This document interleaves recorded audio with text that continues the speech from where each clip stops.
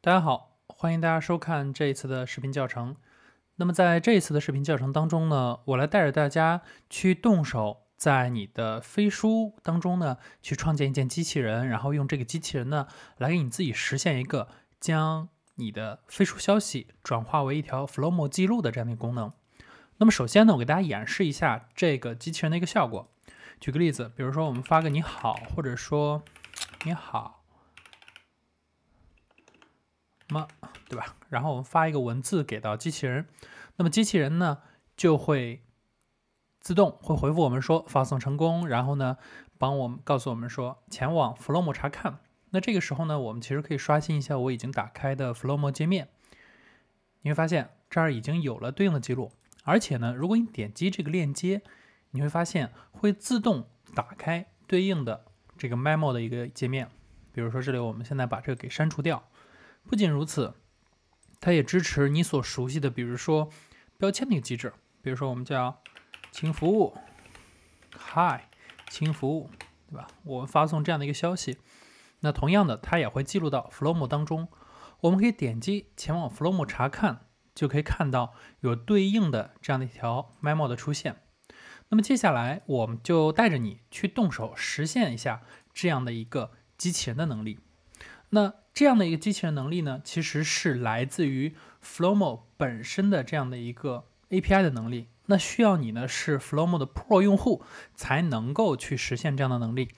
那所以你如果发现自己不是 Pro，那可能这个视频你就不用再看了，因为你达不成要使用这样的一个机器人的基本能力。那如果你确定你已经是 Pro 用户了以后，那就很简单了，在你的 Flomo 左上角。找到这里的 API 及第三方工具，打开，在这里你会看到你自己的专属记录 API，然后复制这个专属记录 API 留下来，等一会儿呢我们会拿它有用。比如说我现在呢就把它记录到这里，那第一行呢是我的 Flomo 的 API，稍后呢我会用到它。那当你完成了基本的 Flomo API 获取以后，接下来你要做的就是去飞书开放平台当中创建一个机器人。那如何打开飞书开放平台呢？你可以在你的浏览器当中访问 open 点飞书点 cn 这个地址，然后呢，你就会进入到飞书开放平台，然后把现在把它全屏，然后点击创建应用，在这里你就可以看到有一个企业自建应用。而对于你来说呢，你要做的就是创建一个企业自建应用。你可以看到，我这里已经有了一个 Flowmo 的机器人，就是刚刚带着大家去看的这个机器人。那么接下来，我就带着你去创建一个新的机器人，并且呢，带着你去操作它整个的一个流程。首先，我们创建一个企业自建机器人，比如说我叫它 Memo，对吧？然后给它输入类似的一个名字。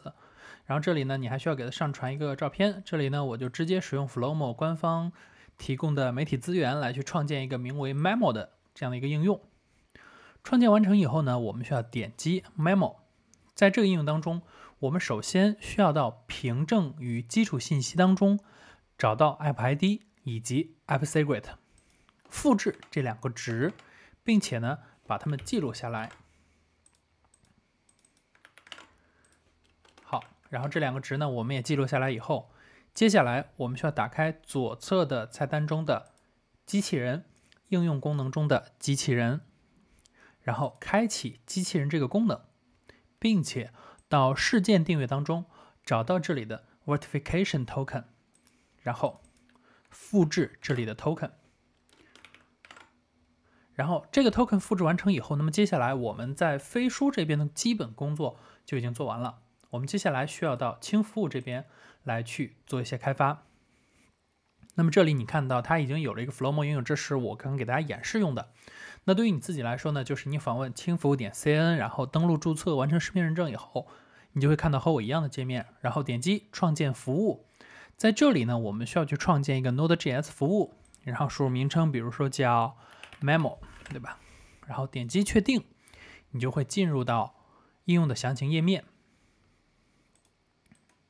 然后在应用的详情页面，首先我们需要进入的是设置。在设置这里，我们可以看到这儿有一个小程序设置。小程序设置里呢，这里有一个 App ID，然后我们点击配置，将我们刚刚拿到的飞书开放平台的，也就是在凭证与基础信息这里的 App ID 和 App Secret 粘贴到这里。那这里呢，我已经在我的编辑器当中有了，我直接拿过来，粘贴完成以后，点击确定，你会看到在这里呢出现了你的 App ID，然后在上方呢出现了这样的一个飞书的 logo，它变成了蓝色。那么这样呢，就说明你的这个基本配置已经配置完成了。那基本配置完成以后呢，接下来我们要做的事儿就是去编写代码了。那这里的代码呢？呃，大家可以在我的教程当中找到具体的信息。然后，如果你是看视频的话，你也会在视频的下方找到这个具体的代码地址。这里呢，我就不一个一个的给大家去打这个代码的地址了，我直接把它粘贴过来，然后呢，去复制对应的代码。好，然后我们看到这里面是所有的代码，然后我们复制这个代码，回到这里，然后我们可以，比如说，我们就用默认的 hello 点 js，我们粘贴一下。粘贴下来以后呢，现在我们的基本的代码有了，但是还有一些事情我们需要去做一些配置。比如，首先这里我们使用了一个第三方的包叫 Exos，那我们需要安装这个 Exos。我们可以点击这里的搜索按钮，然后粘贴 Exos 的名字，它会自动的去搜索我们需要使用的 Exos 包。那我们稍等片刻以后，它会在这个界面当中呢出现一个下拉菜单。我们在这个下拉菜单当中选择我们需要安装的这个 Exos 的包，就可以去安装相应的应用了。这里我们可以稍微等一下啊，因为这个 npm 包呢它是在海外，然后这个轻服务这个网站呢是在国内，所以呢速度会稍微有些慢。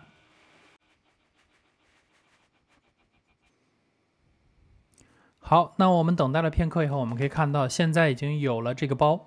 我们勾选这个包并点击安装，然后呢，它就会执行一个安装的过程。这个时候呢，我们可以稍微等一下，等待它的安装完成。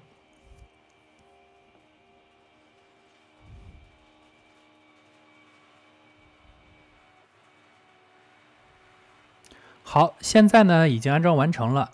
接下来我们需要去配置一下环境变量。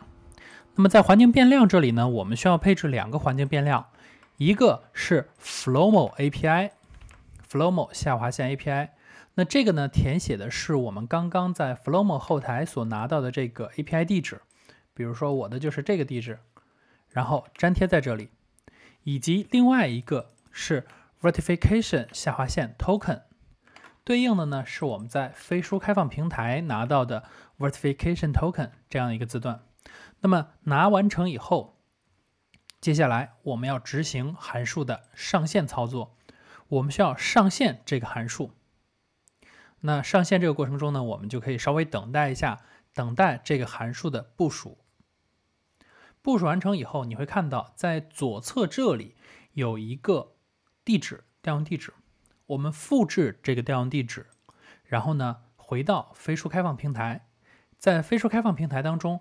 我们需要去进行一些具体的信息配置，比如说，首先我们找到事件订阅，在事件订阅这里面，我们可以看到有一个请求网址 URL，点击编辑以后，粘贴我们刚刚获得的函数的请求地址，并保存。保存完成以后，我们就可以看到下方呢有了一个添加事件。那么在添加事件当中，我们需要去添加一个。接收消息的事件，我们搜索接受，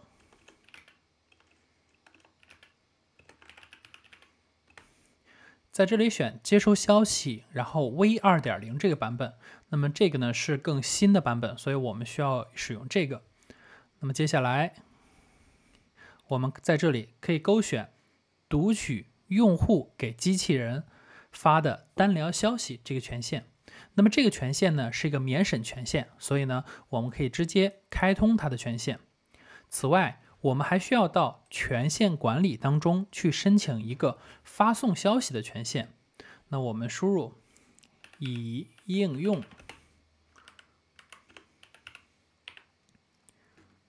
我们需要这样的一个以应用的身份发送消息的一个免审权限。同样的，开通这个权限。好，那我们现在两个权限都开通了成功以后呢，接下来我们的这个机器人其实呢就已经完成了基本的配置，我们唯一要做的就是给这个机器人去申请上线。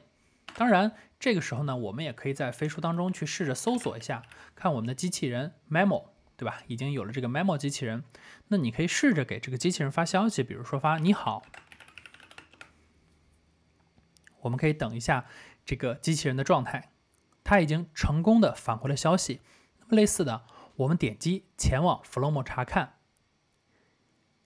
一样的可以看到这样的一个消息。那这样呢，就说明我们的机器人已经完成了。当然，其实，在教程当中呢，我告诉大家，你其实可以把你的这个机器人创建一个版本进行发布。当然，如果你不希望去提交版本，或者比如说你所在的企业呢，它会有种种的限制，它不希望你去提交版本，那么其实你可以直接使用当前这样的一个未审核发布的版本。这样的话，你就不需要去向你的企业管理员去解释说，哎呀，我要去怎么样去使用这个机器人。当然，呃，如果你的企业没那么多限制，其实我还是蛮建议你把这个东西呢创建一个版本，对吧？因为它其实并不复杂。创建一个版本，对吧？输入版本号，更新日志，点击保存。需要注意的是，这里的可用范围呢，选记得选择成你自己。这样的话，别人呢就不会搜到这个机器人，这样的话，他们也不会给这个机器人发消息，避免说你的整个的这个机器人所收到的消息呢里面呢会有别人给登录进去所录入的这些 memo 的记录。好，那我们接下来回到飞书开放平台申请发布，申请发布呢，它会有一个审核的一个流程。当然，因为我自己是管理员，对吧？这是我的一个测试企业，所以呢，它可以直接正常发布。发布完成以后，你再会收到相应的消息，对吧？会告诉你审核通过。那审核通过以后，你的机器人就可以正常发消息，比如说，呃，机器人 Flomo 机器人审核通过了。然后我们会看到会帮我们自动生成的这样的一个 memo。我们回到 Flomo 当中。就可以看到我们刚刚所创建的这样的一个 Flomo 机器人。好了，关于这个视频呢，我到这里就结束了。那么如果你有任何问题，你可以在视频下方给我留言，或者是发送邮箱给我。我的邮箱呢是 bestony at linux.com，b e s t o n y，然后 at l i n u x 点 com 这样的一个邮箱。那么欢迎你有任何问题发给我，然后和我一起交流你对于 Flowmo 或者是说在使用飞书以及轻服务当中遇到的问题。好了，那我们这个视频到这里就结束了，我们下个视频再见。